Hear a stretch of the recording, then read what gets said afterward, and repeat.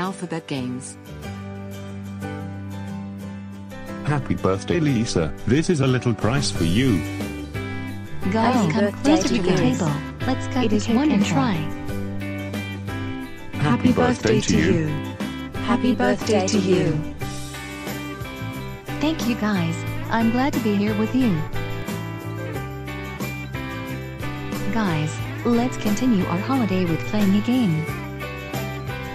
In every piece of your cake you will find a letter. You must tell us a story about this letter.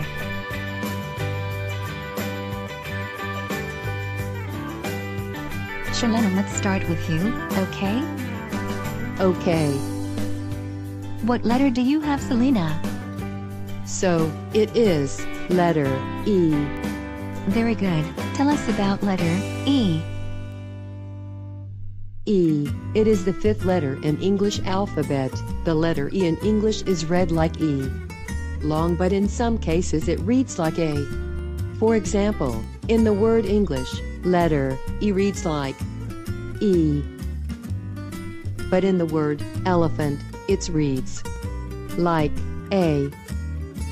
So, I think that's it guys. Thank you very much. That was cool. Let's applaud her.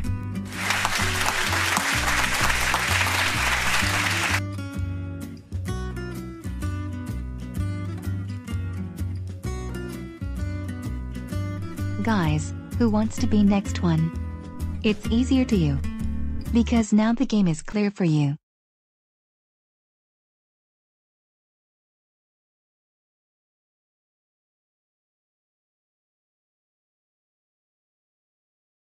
Can I take a chance?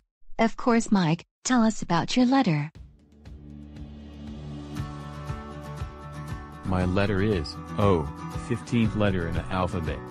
O. The letter O is used at the beginning of the word in the middle and at the end of the word. Also a feature of O is that in words you can write double O. For example two. But if you write double O, it reads like you. So, I think that's enough. Very good, thank you. Applaud.